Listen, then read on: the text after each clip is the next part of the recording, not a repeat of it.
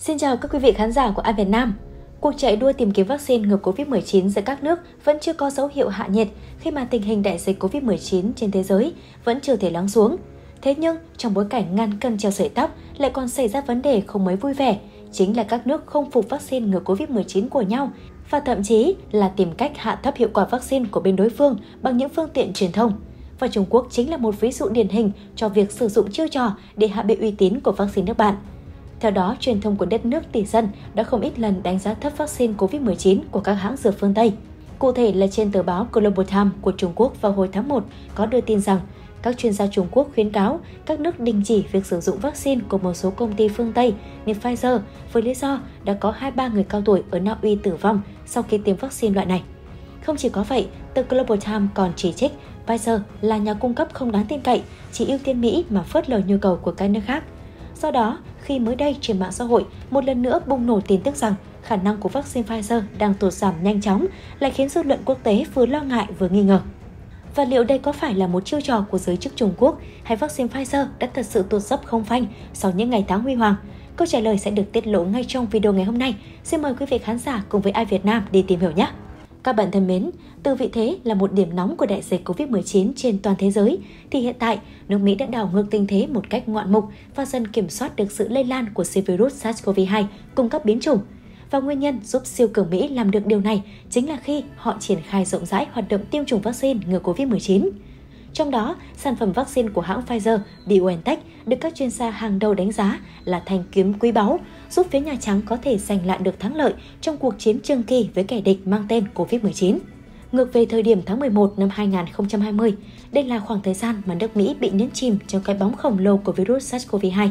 và có những ngày tháng cao điểm. Quốc gia được coi là tiên tiến bậc nhất thế giới về y học này đã ghi nhận hơn 310.000 ca dương tính với COVID-19 và hơn 4.000 trường hợp tử vong chỉ trong vòng 24 giờ. Và quả thực không quá khoa trương khi nói rằng ở thời điểm ấy, nước Mỹ dường như đã rơi vào tuyệt vọng và bế tắc, không tìm thấy một tia hy vọng nhỏ nhoi nào. Tuy nhiên, đây vẫn chưa phải là điều kinh khủng nhất, mà còn có một thứ khác còn đáng sợ hơn, chính là ý thức của người dân Mỹ trong công tác phòng chống đại dịch COVID-19. Mặc dù không rõ nguyên do chính xác là tại sao hay chỉ vì quá chán ngán các biện pháp được xem là lỗi thời như hạn chế di chuyển, giãn cách để chống dịch mà người dân lại có những hành động không mấy đẹp mắt để đáp trả chính quyền. Cụ thể, người dân Mỹ đã kịch liệt phản đối việc chính phủ khuyến cáo đeo khẩu trang để phòng dịch cũng như giãn cách xã hội để đảm bảo dịch bệnh không lây lan trong cộng đồng, với lý do là những việc này đã xâm phạm vào nhân quyền. Do sự chống đối những biện pháp phòng chống dịch bệnh của chính phủ trong bối cảnh những biến chủng mới của siêu virus SARS-CoV-2 đang có xu hướng lây lan nhanh và mạnh mẽ hơn mà nước Mỹ đã rơi vào khủng hoảng nghiêm trọng trên các kênh truyền thông của thế giới tràn ngập hình ảnh tăng thường chết chóc về hậu quả mà đại dịch Covid-19 đã gây ra cho người dân Mỹ. Thật đáng sợ làm sao khi những lò thiêu xác phải hoạt động 24 trên 24. Thi thể bệnh nhân đã tử vong do Covid-19 nhưng chưa kịp thiêu hết, phải để trong hàng loạt những xe lạnh nối đuôi nhau. Và rồi bệnh viện cũng đã bắt đầu quá tải, đội ngũ nhân viên y tế phải làm việc gấp 100 lần bình thường nên dẫn đến có những người phải ngất xỉu vì quá mệt mỏi. Đây cũng chính là cái giá đắt mà toàn bộ người dân Mỹ phải trả sau khi không tuân thủ những biện pháp phòng chống đại dịch COVID-19 và thậm chí là không sợ hãi nó. Thế nhưng, trong cái rủi cũng có cái may và ông trời cũng không bao giờ tuyệt đường sống của ai cả. Vậy nên, trong tháng 11 năm 2020, bên cạnh những tin tức tiêu cực, thì cuối cùng nước Mỹ cũng đã tìm thấy một ngôi sao đầy hy vọng đầu tiên. Theo đó, nhiều hãng dược đã tuyên bố chế tạo thành công vaccine ngừa COVID-19 sau khi dồn toàn lực nghiên cứu và phát triển – và đáng chú ý là trong những sản phẩm được công bố chế tạo thành công thì vaccine của Liên minh Pfizer-BioNTech được tuyên bố có hiệu quả phòng ngừa dịch bệnh COVID-19 tới hơn 90%. Tới tháng 12 năm 2020, thì cơ quan quản lý thực phẩm và dược phẩm FDA cũng đã chính thức cho phép sử dụng khẩn cấp vaccine của Pfizer-BioNTech.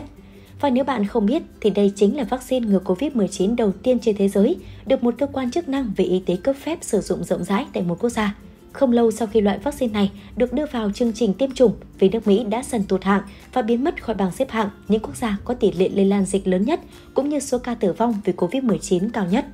Ngoài việc có hiệu lực chống lại virus cao ra, thì vaccine của Pfizer, BioNTech cũng đã cố gắng cải thiện những bất cập của mình như việc không còn cần phải được bảo quản bằng những điều kiện khắt khe như ở giai đoạn ban đầu nữa. Được biết, khi mới được phê chuẩn sử dụng, FDA yêu cầu phải bảo quản vaccine Pfizer, BioNTech trong nhiệt độ đông lạnh từ âm 60 độ đến âm 80 độ C. Đây là trở ngại rất lớn bởi vì không phải bất cứ nơi nào cũng có các kho lạnh đáp ứng được yêu cầu này. Dưới áp lực của cơ quan quản lý dược phẩm của các nước, cùng những áp lực cạnh tranh thì Pfizer cũng đã dần tăng nhiệt độ bảo quản của vaccine.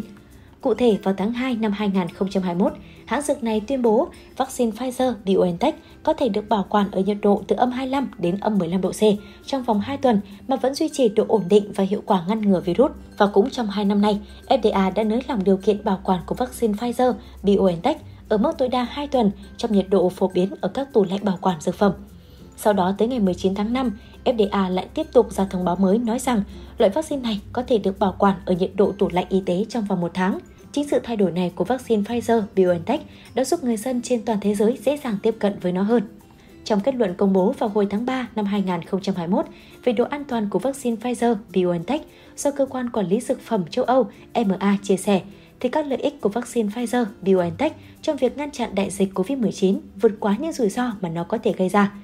Dường như đây cũng chính là lý do khiến Pfizer, BioNTech trở thành một trong những loại vaccine ngừa COVID-19 được nhiều quốc gia săn đón, đưa nó trở thành loại vaccine được sử dụng nhiều thứ hai trên thế giới, với 89 quốc gia và vùng lãnh thổ đã mua nó để tiêm cho người dân của họ.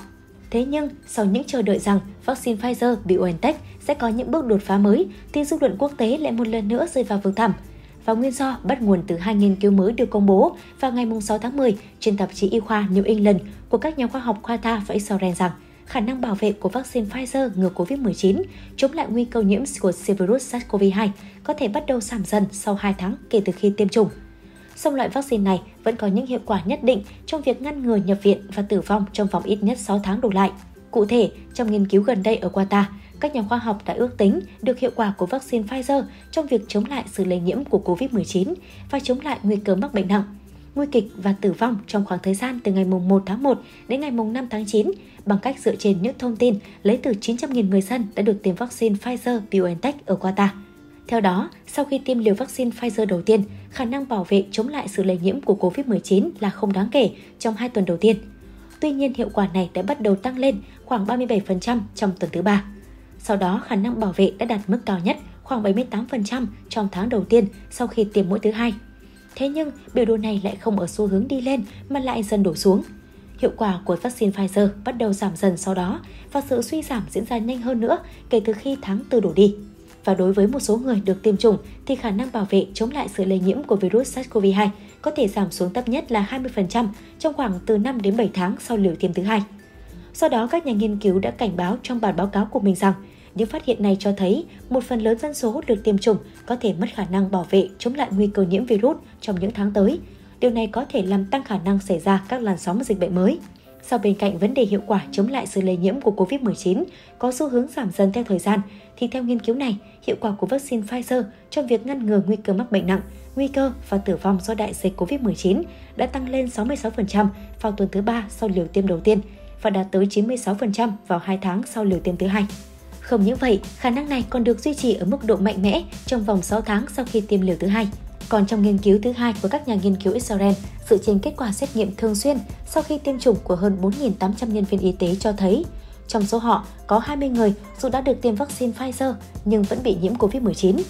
Đặc biệt, nhóm nghiên cứu còn phát hiện ra rằng mức độ kháng thể lưu thông trong máu đã giảm với tốc độ nhất quán trong vòng 6 tháng sau liều tiêm thứ hai. Mức độ kháng thể trung hòa tương quan với khả năng bảo vệ cũng giảm nhanh chóng trong 3 tháng đầu nhưng sau đó giảm chậm hơn. 6 tháng sau tiêm liều thứ hai thì các kháng thể trung hòa ở nam giới thấp hơn đáng kể so với nữ giới. Mức kháng thể trung hòa cũng thấp hơn ở những người từ 65 tuổi trở lên và những người có hệ miễn dịch kém. Thế nhưng, mức kháng thể trung hòa lại cao hơn đáng kể ở những người có chỉ số khối cơ thể từ 30 trở lên. Song đây không phải là dấu hiệu đáng mừng bởi vì các nhà nghiên cứu cho biết họ vẫn chưa rõ ràng liệu mức độ kháng thể cao hơn có đồng nghĩa với khả năng bảo vệ nhiều hơn hay không. Cũng chưa rõ liệu những người béo phì đã được tiêm vaccine có đối mặt với nguy cơ nhiễm trùng đột phá cao hơn hay thấp hơn hay không. Vì vậy, các nhà khoa học đã rút ra kết luận rằng khi đại dịch tiếp tục phát triển, chúng ta càng thấy rõ tầm quan trọng của việc xác định các mối tương quan miễn dịch với khả năng bảo vệ sau khi tiêm vaccine. Các chiến lược để kéo dài khả năng miễn dịch của người sau khi tiêm cần được đánh giá để bảo vệ mọi người chống lại SARS-CoV-2 và các biến thể của nó. Ngay chính hãng dược Pfizer cũng đã tuyên bố trước đây rằng khả năng miễn dịch từ liều thứ hai của vaccine của họ bắt đầu mất dần sau một vài tháng. Vậy nên vào tháng 9 năm 2021, Cục Quản lý Thực phẩm và Dược phẩm CDC Mỹ đã cho phép Pfizer tiến hành tiêm liều thứ ba để bổ trợ cho một số đối tượng người dân Mỹ đã tiêm liều thứ hai sau 6 tháng. Do đó, tính tới thời điểm hiện tại, đã có hơn 6 triệu người dân Mỹ nhận được tiêu tiêm bổ trợ thứ ba. Và đây cũng là giải pháp hữu hiệu nhất mà các nhà khoa học có thể nghĩ ra lúc này. Còn bạn thì sao? Nếu được lựa chọn, bạn sẽ tiêm vaccine Pfizer, BioNTech hay một loại vaccine nào khác? Hãy để lại suy nghĩ của bạn ở phần dưới bình luận để chúng ta cùng thảo luận thêm nhé. Xin chào và hẹn gặp lại các bạn trong những video tiếp theo. Video ngày hôm nay đến đây là kết thúc rồi. Các bạn nhận được thông tin gì thú vị và ý nghĩa thì hãy chia sẻ video này của Ai Việt Nam đến với mọi người nhé. Hãy nhấp vào bên trái hoặc bên phải màn hình để theo dõi những video thú vị khác của chúng mình. Và ở những video tiếp theo, các bạn muốn Ai Việt Nam thảo luận về vấn đề gì nào? Đừng quên gợi ý cho chúng mình trong phần bình luận phía dưới nhé. Cảm ơn các bạn đã quan tâm theo dõi. Xin chào và hẹn gặp lại.